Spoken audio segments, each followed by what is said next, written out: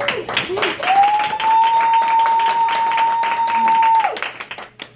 I said, this is uh, Good Morning Toastmasters and guests. Good Morning, morning. This is my icebreaker, and I'm so excited to do this. Uh, by a show of hands, how many of you have, have remembered anything or recall anything that your mother or your father has told you over your lifetime? that is great because now I don't feel so alone. my story starts with I'm 10 years old and I'm looking out the window and it is a nice sunny day. So nice that I go to my mom and say, Mom, can I please go outside? She says to me, Boy, if you don't get over there and sit down, I know something. Now, as a child, you don't really know what that means, so you just go take a seat. and then you sit there, but it's like the wind is calling my name. It's going. so I get up again, I get enough courage to say, Mom, can we all go outside? She said, boy, if you don't get over there and sit down working on my last nerve, I'm going to pop you upside your head. now, the first two I didn't understand. But the last one popped me upside my head. I did. Why? Because I got plenty of those in my short span of living. but after a few minutes, she says, okay, all you guys just go outside because you're getting on my nerves.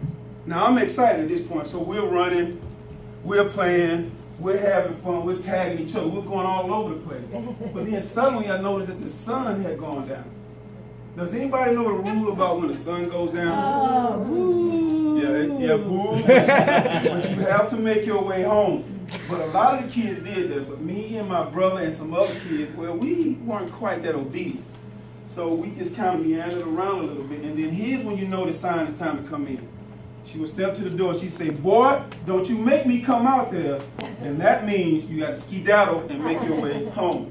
So she, so she opens up the door and she says, get upstairs, take a bath, come down to eat, and go to bed. Now, because she's a disciplinarian, we followed her rules, took the shower, we ate, and then we went to bed. She comes into, room, into the room a few minutes later and she says, I just want you all to know that I love you and I want what's best for you. Now, being 10 years old, hearing that from your mom, it gives you comfort. You have that guidance. So I began to slowly close my eyes and just say, wow, this woman really loves me. and I awaken and I'm 18 and I finish high school. Now, I can't tell you guys what happened between 10 and 18. but anyway, I'm 18 years old and I say to my mom, I don't know what I want to do, but I think I want to try college. So my mom steps to the plate like a slugger, Louisville slugger. And when I throw the pitch, she hits the ball, but she knocks it clean out of the park.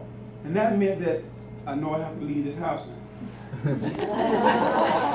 on my departure, she says though, she comes to me and she says that she kisses me on the cheek. She says, I want you to go and do your best. And that stuck to me again. And I was like, wow, she really wants me to do my best. So on my way to the university, uh, my friend and his mom and dad, they drove us there. And when we got to Alabama State University in Montgomery, Alabama, she says to the both of us, you're here to do your best. So it sticks once again. So we go upstairs, we drop the luggage off, we come back downstairs, and on this side of the world is where all the fellas hang. You know, you get out, you got the shirt, you got the tie, you got the cup, you're the coolest guy on the campus. But the problem is, there's like 5,000 other guys. So it really doesn't work. So the people that were there, they took us all, and then we meandered to the other side, walking all cool with the swag on and everything. And then when we get to this side, we see all of these lovely women. Now, when I get there, I'm kind of confused because all these women, what am I supposed to do with all these women? Have you ever seen Avatar, right? Where you take your hair and you connect it to the animal, the animals with you for the rest of your life. Well, mine was a little different. It was just too many women I was getting connected. He'll get connected, they'll get connected. And I'm saying, I'm just turning around because I really don't know what to do. So I told the fellas, look, we gotta go. This right here is making me dizzy. I don't even know if I'm supposed to do my best with these or choose the one that I like. so the, the weekend went off without a hitch. I wake up Monday morning and then I proceed to the classroom and there the professor says, you all are here to do your best. And like three comments converging at one time, it was like, and it was a big old beacon of light that went off in my mind.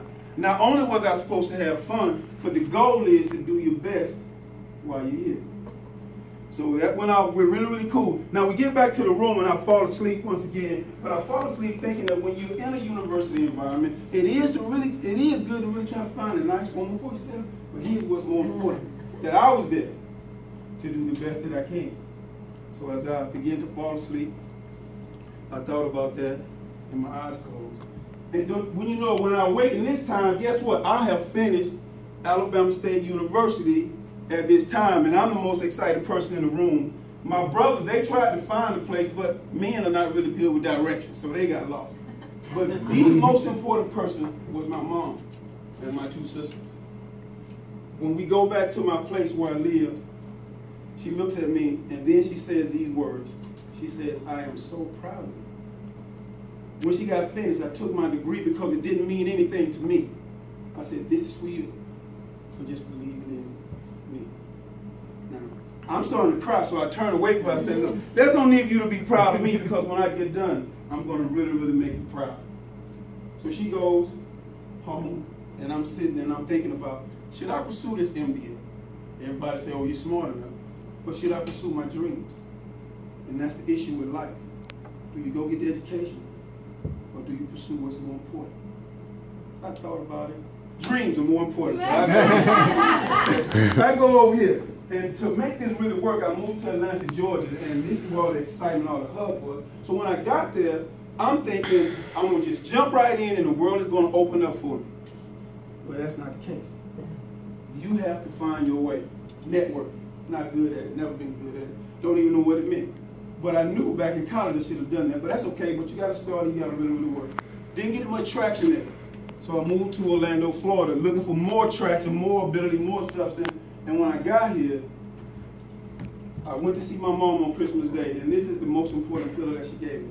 She says to me, son, I may give out, but I will never give up.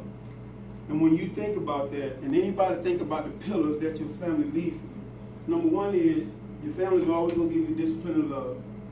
You always got to do your best. Somebody's going to always be proud of you. But you always got to make sure that you give out and never give up. Those are the four pillars to my life, and I live them doing push-ups. Thank you.